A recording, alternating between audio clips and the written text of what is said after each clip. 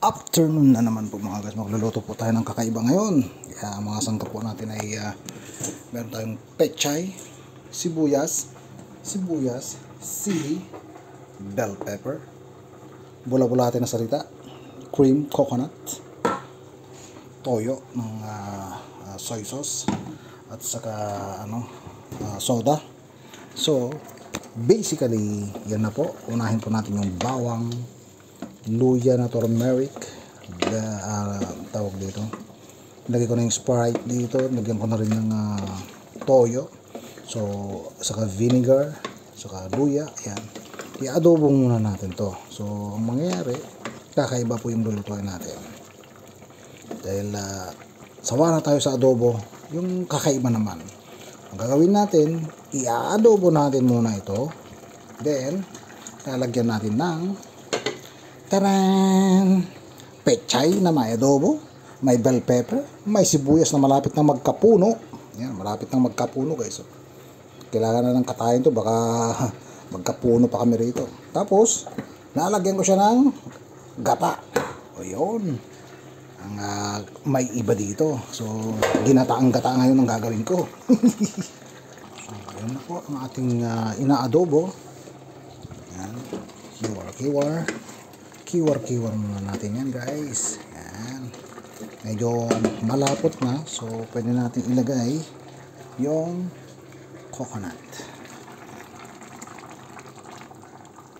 Yan. so dyan muna siya.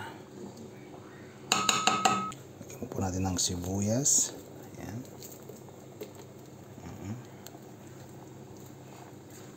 Kasmekos mo na yan. O kiwar-kiwar na natin yan Shout out nga pala sa ating mga gifters dyan. Ayan, si Romana Querido. Ayan. Si Jesus Long. At sa ating mga laging naglalikes at uh, uh, nanonood sa ating mga reels. Kay Joy. Ang galing magluto yan. Uh, pakisupport din siya. Siyempre, nandyan si Madeline. Nandyan si Sean Ordan. Si uh, Madre, Mayang, si na Adelma, yan mga kamarites. Shoutout sa inyo. Okay, yung remaining ingredients, syempre, lagyan na natin ng sibuyas pa, saka sili. Syempre, gamit yan ng crucible para makiwar-kiwar natin maigi.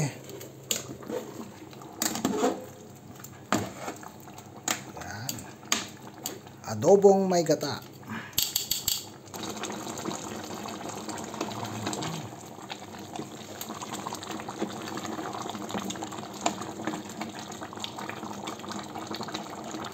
Siyempre, nilagyan ko ng uh, aking technique na malupit. Ayan. Kiwar-kiwar. Hindi pa naman durog yung ano.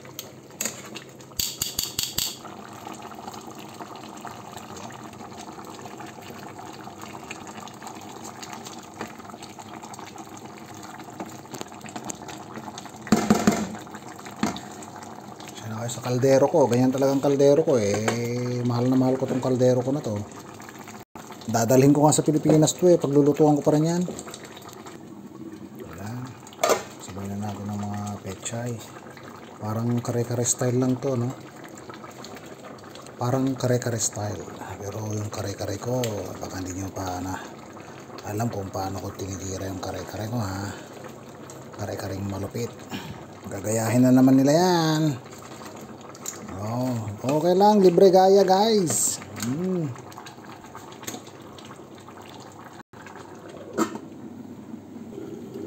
Yan yung kanin guys. Mm -hmm. Yan sinasabi ko. Sira na naman ang tiyan ko nito. Ayan na po yung inadobong ginataan. Try nyo din po.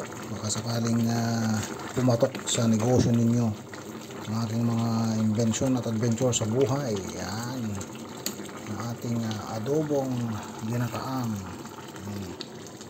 yan direct na yan sa plato guys wala nang patumpik-tumpik pa hmm. natin ang sarsa oh my goodness sarap sili pa oh na natin yun. Hindi na kailangan. Hmm. Kaya na. Yeah. Oh, lala.